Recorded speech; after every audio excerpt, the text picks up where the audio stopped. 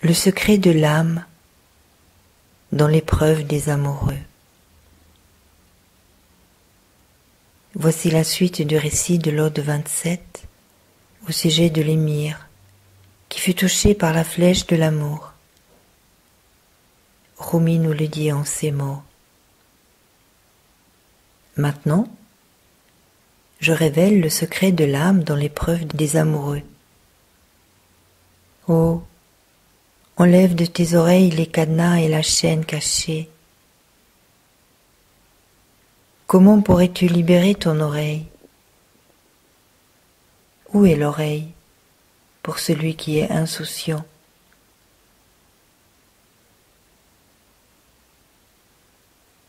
Il n'y a pas d'évasion pour l'intelligence, sauf Dieu fait ce qu'il veut.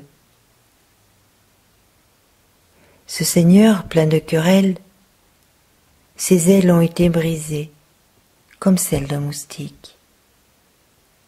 Il gémit d'amour pour une Aïcha, disant Mes yeux sont aveuglés de larmes. Nous sommes devenus anéantis après votre départ. Hélas pour nous qui sommes restés. La haine, c'est votre perte. Revenez vers nous de bon gré. La raison en vous est un gage. Existe-t-il un écho qui guérisse la tristesse? Le cœur est affligé par vous au milieu des feux de l'éloignement. Ô Seigneur rempli de puissance, Voici ton pouvoir détruit par le destin. C'est parce que tu as brisé beaucoup de cœurs que tu fus ainsi châtié. Considère comme des grâces divines les maux que t'a causé l'amour. L'amour éphémère est l'une des voies qui aboutit à l'amour divin. celui qui fait la guerre pour Dieu, place dans la main de son fils un sabre en bois, afin qu'il en acquiert la maîtrise et puisse ensuite brandir le sabre des combats.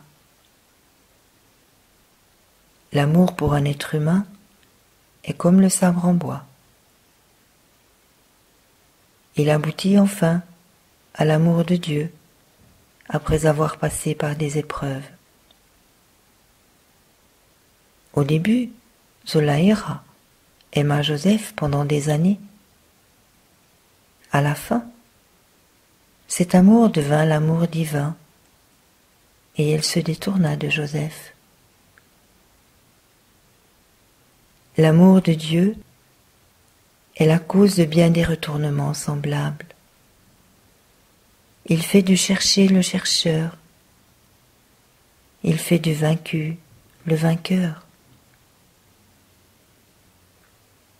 Demain Oran, Dieu, dans sa miséricorde, a fait la Qibla de la prière.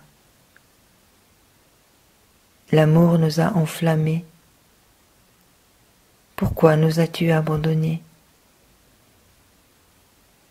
Ô émir qui fait naître la prospérité sous tes pas, j'étais parti, maintenant je reviens, afin de pouvoir à présent exposer ton cas ouvertement.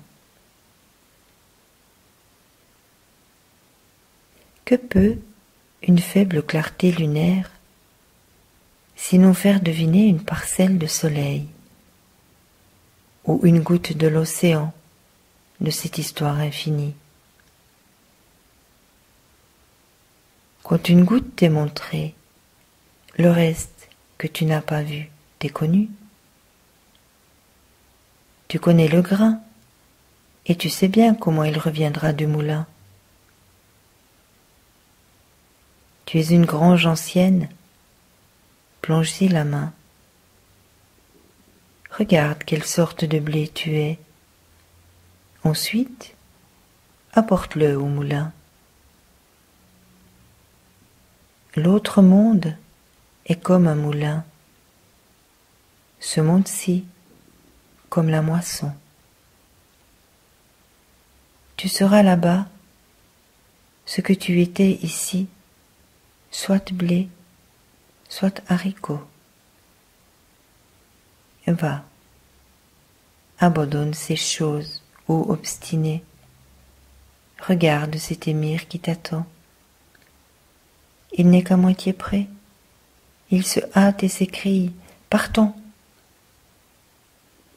Ô émir, comment es-tu? Parle. Blessé dans ce quartier plein de dangers, tu es tombé dans la poussière et le sang comme les pauvres et les affligés. Il dit Prenez garde aux musulmans, gardez bien vos cœurs. Mon sang est versé, prenez garde que cela ne vous arrive. Moi je reprochais jadis aux amoureux leur ferveur. Avec un cœur plein d'impureté, je les injuriais. Malheur à tout blâmeur pour sa mauvaise langue. Pour celui qui use du blâme et de la calomnie, point d'autre remède que les lui faire goûter à son tour. Dans l'amour, renonce au plaisir, laisse là grain et piège. Nomme la pierre or et surnomme la tyrannie douceur.